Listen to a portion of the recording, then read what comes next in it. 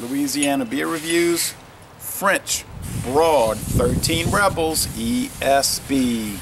There were a few video reviews for this beer, and people like Greg and others said, eh, it's okay. They weren't super impressed with it. Uh, we'll see. I bought this at Dorignac's. It was $4.99. All their bottles, 22 ounce bottles, are $4.99. 5.2% alcohol. Uh,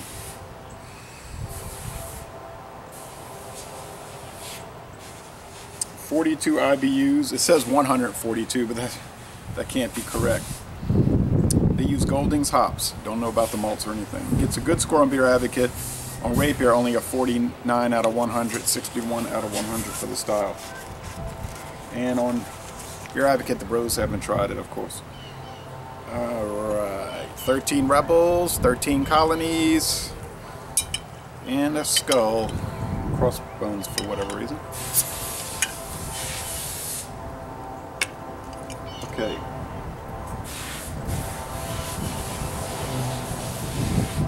It's windy, so there is smoke, water vapor, but it's going to blow right away here at 10 o'clock, 10, 10 minutes after 10.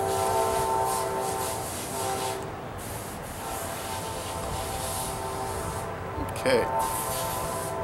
Wow, that is a thick cream colored head and a murky, bright orange appearance. Yeah, now from that direction with the sun shining at it, it's not so bright. With the sun shining through the beer, it's like it's a glow. It's glowing like a lamp. All right. Now the aroma,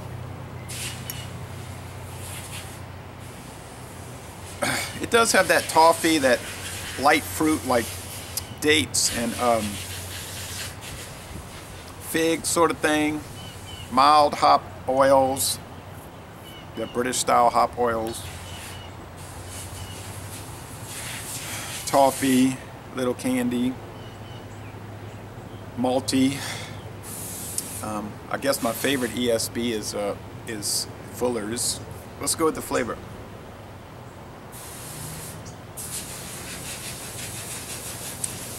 It still has a strange taste like the other two French broad beers I did. This is a this is an odd company. And their brewing process must be unique.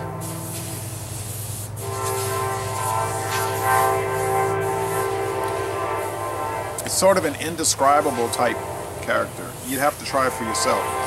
But it's a strange, strange, citrusy, even in a gripping flavor. It's not bad. Like the other two, the more I drank them, the more I liked them. But they were so odd, and they didn't really seem to fit the style. Canadian National. Oh no, I'm sorry. That's the Kansas City Southern Railroad.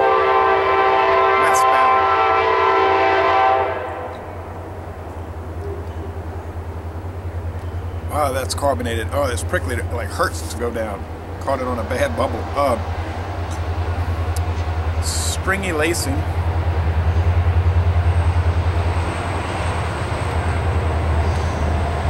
There they go.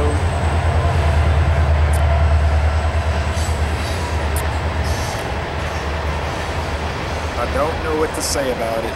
It's certainly not bad. The mouthfeel is medium to heavy, so it's in the medium range. And the finish is semi-dry. It's fairly easy drinking, and it's odd. I don't know if they're using crystal malts. I don't know. It's really strange. It's Sort of chewy.